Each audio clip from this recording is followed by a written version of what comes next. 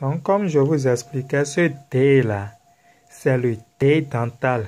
Ça se lit D, D. Ça, c'est le fruit du palmier. D. Vous devez constater que ce D là, ça a un long pied. Ça se lit Do, Do, Do. Ça, c'est pas dental.